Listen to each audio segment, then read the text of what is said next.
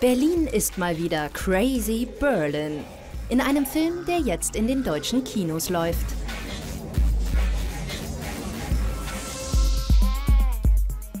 Ein Hauch Olivenöl, eine Prise Nazi-Lesben und jede Menge Hautkontakt.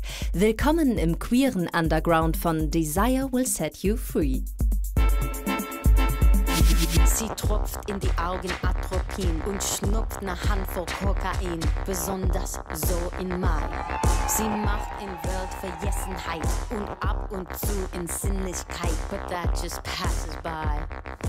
Hannelore, Hannelore, cooles Kind vom Haus und Tore, süßes, reizendes Geschöpfchen. Hello.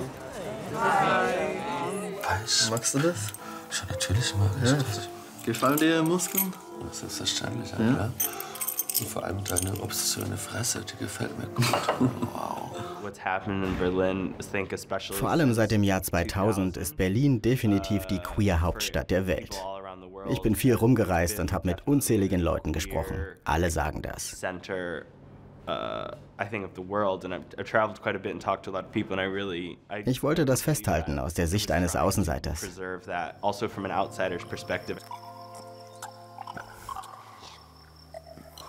Hauptfigur des Films ist Sascha, ein schwuler Stricher aus Russland, der in Berlin eine andere Welt entdeckt.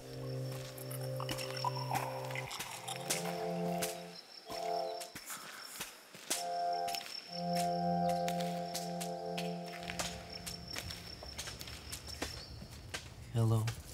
Здравствуйте, Sasha. Can you give me some advice? God gave me the authority to give you a most amazing future. Do you think I should? You were ready the moment you were born.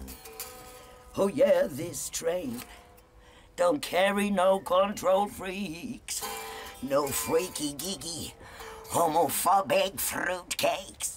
Cause this train is bound for glory. This train, choo-choo. Die meisten Szenen haben sich bei Joni Leisers Ankunft in der Hauptstadt 2010 tatsächlich so abgespielt. In uh, In dieser Stadt fühlte ich mich zum ersten Mal in meinem Leben frei. Ich lebte in einem besetzten Queerhaus, war auf krassen Tuntenpartys und traf Leute in schrägen Outfits. Die Menschen lagen nackt in Parks rum. Es war völlig egal, wie du aussiehst, was du anziehst oder wen du küsst.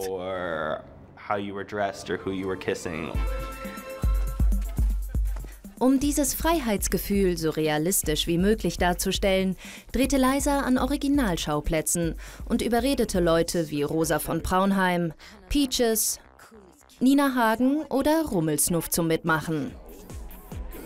In Desire Will Set You Free ist Berlin mal wieder ganz das Disneyland der Exzesse. Nicht immer echt, aber ziemlich unterhaltsam.